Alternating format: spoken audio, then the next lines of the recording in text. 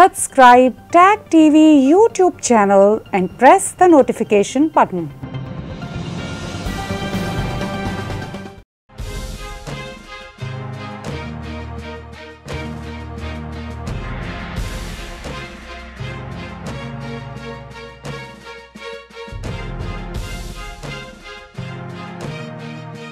Good evening. Welcome to South Asia Newsline. I'm Yeshi Chonzom. Here are the top stories we are tracking for you on Tuesday, the 16th of November. Indian Prime Minister Modi launches 341 km long Purvanchal Expressway, calls it pride of Uttar Pradesh state. Pakistan government calls Parliament's joint session, claims support of allies on electoral reforms. And 13-year-old Indian girl scales Mount Kilimanjaro, aims to climb all seven summits before 2024. And now for all the details. Indian Prime Minister Narendra Modi on Tuesday afternoon launched the 340-kilometer Purvanchal Expressway that also has an airstrip in northern Uttar Pradesh state. Shortly after, he landed in an Air Force C-130J Super Hercules aircraft on the highway. The expressway is aimed at giving a boost to the economic development of the eastern part of the state. PM Modi said this is the expressway to the state's development and will show the way to a new Uttar Pradesh.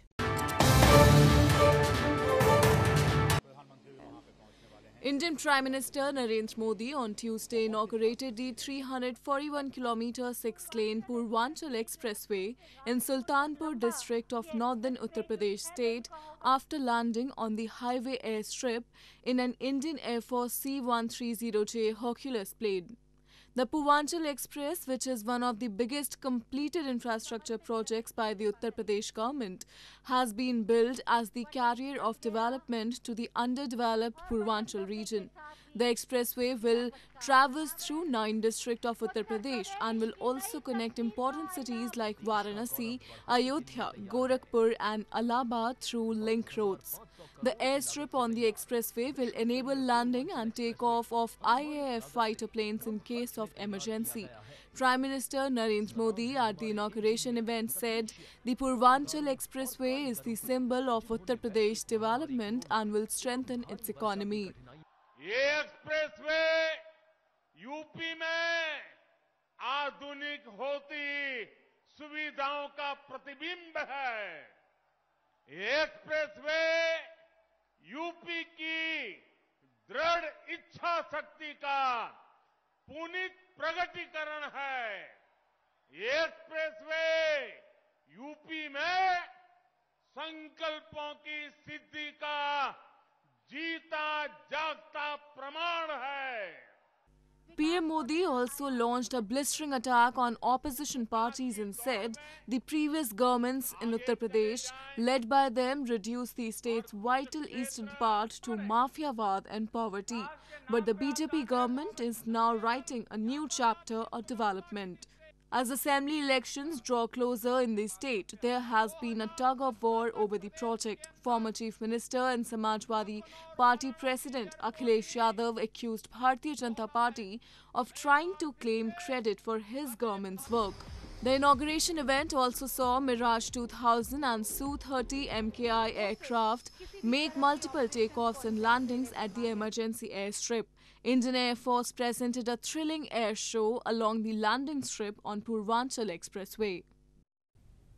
The Indian government on Tuesday announced it has decided to reopen cross-border Kartarpur Sahib Pilgrim Corridor from November 17, which was closed in March 2020 owing to COVID-19 pandemic. A border crossing pact between India and Pakistan allows visa-free access to Indian pilgrims to visit Gurdwara Kartarpur Sahib in Pakistan. This comes ahead of the birth anniversary of Sikhism's founder Guru Nanak Dev on Friday.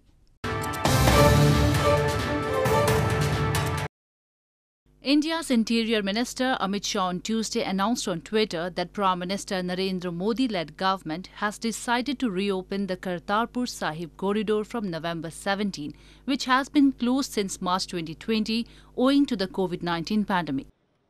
The nearly three mile long Kartarpur corridor, made in 2019 by the joint efforts of India and Pakistan, links religiously historical town of Dera Baba Nanak in India's Punjab state to Gurdwara Kartarpur Sahib, the final resting place of Sikhism's founder Guru Nanak Dev in Pakistan.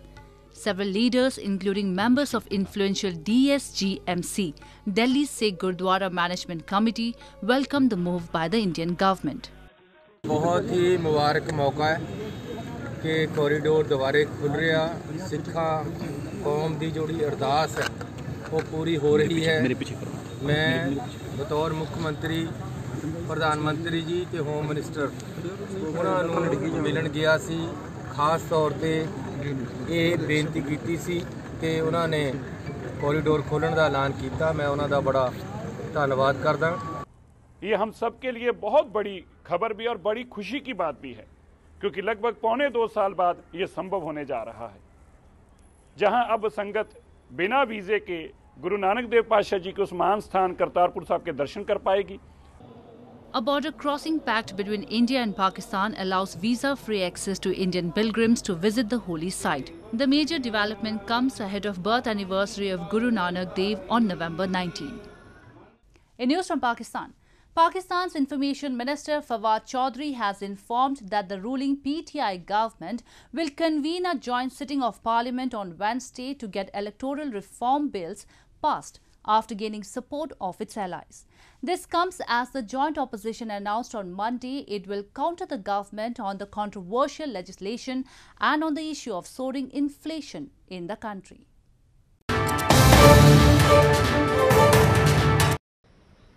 Pakistan's ruling PTI government has finally decided to convene a joint sitting of parliament on Wednesday to get controversial electoral reform bills passed after gaining support of its allies.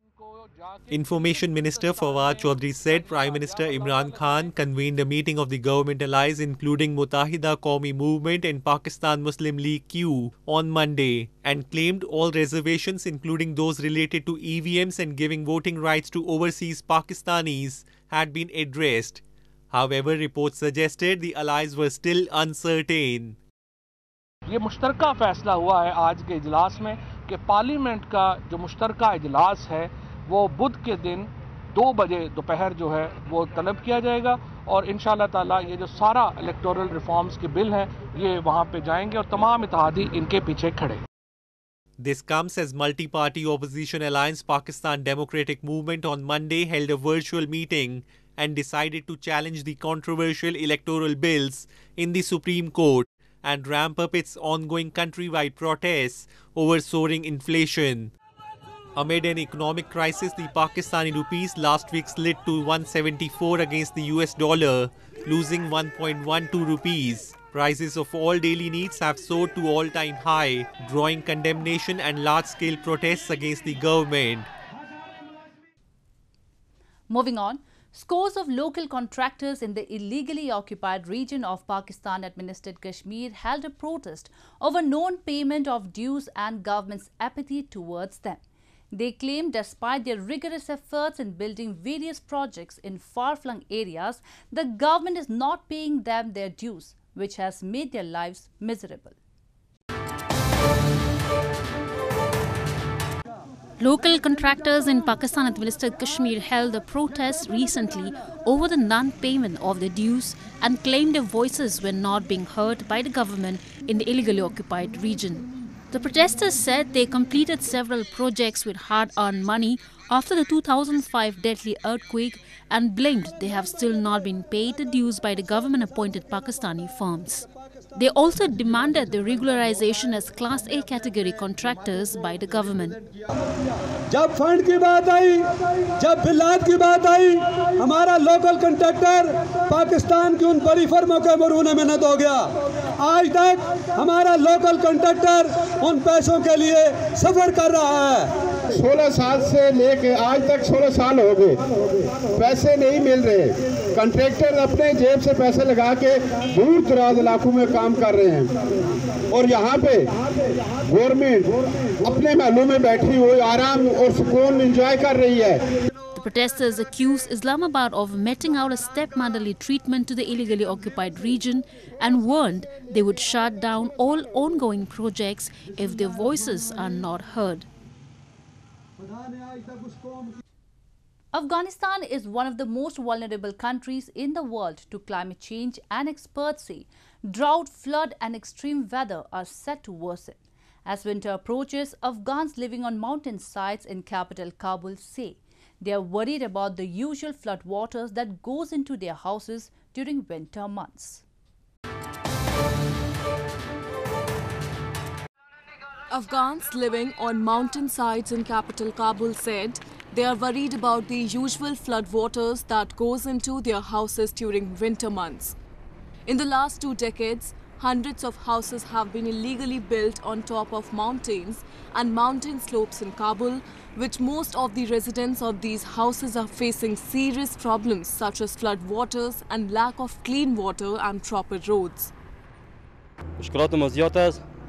دیگه هوا بارش جنجال زیاد است. وقتی که بارش میباره خانه ما زیر رو میشه. دیگه سودا چیزی که میاریم یا چوب یا آرد دیگه برای ما بسیار مشکل است بالا کردنش. دیگه یا خودمون بالا می‌کنیم یا جوالی را میتیم. اور دی شرایط کی پیسه داره که جوالی صدر بده دیگه بالا کنه. زمستان مشکل راست. یعنی روبروی خانه ما را شاروالی کند و عیار کرد و بازسازی کرد. مگم به اون شکل خامه علاج کرد رفت. اینال زمستان که شد این منطقه سیلاب داره.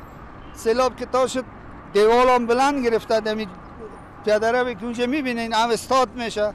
برای تمام باشنده محل مزاحمت خلق میشه.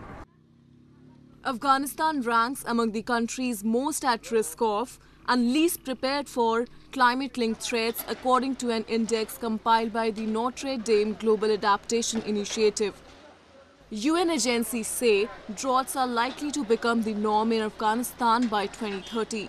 Agriculture in South Asia has depended on the annual monsoon for centuries, but intense rains and floods in the region also cause devastation and billions of dollars in damage every year.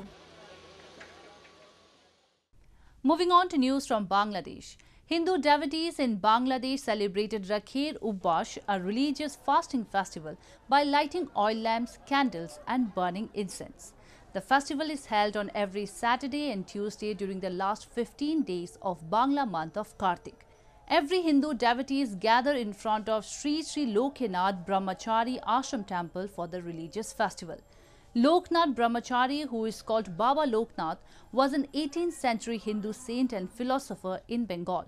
Hindu worshippers fast and pray in earnest to the gods for blessings and good health during the traditional ritual called Kartik Brati or Rakher Upabash. A 13 year old girl from southern India recently scaled Mount Kilimanjaro, the highest mountain in Africa and the highest single freestanding mountain in the world. The young mountaineer says she is now aiming to climb the rest of all the seven summits in the world before 2024.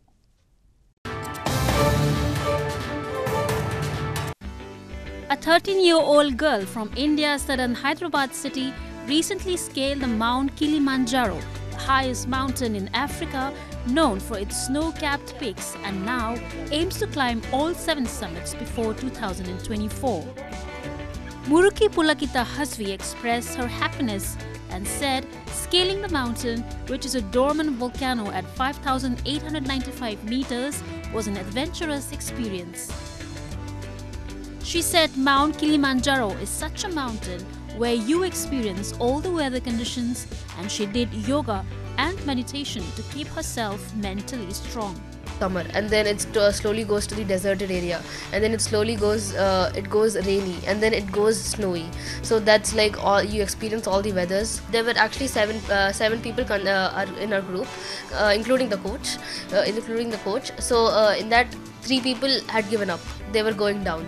So i had to make a quick decision to you know to go down or to go up. I was given an option to go down or go up. But then i changed that option into a decision. And you know decisions matter for life. The way she was telling about the experience and all that we were horrified. You know the video she shared it was all windy dusty fog you know lots of climatic uh, changes she could see While she doesn't advise all her younger friends to choose mountaineering, Hasvi says conquering mountain in life, that is facing life's challenges head on, is the key to success.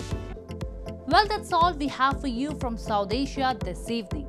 Now our viewers can watch the show on southasianewsline.com. You can also visit us on facebook.com slash Newsline and follow us on Twitter at Asia Newsline. That's all in tonight's edition. We will see you same time tomorrow. Good night.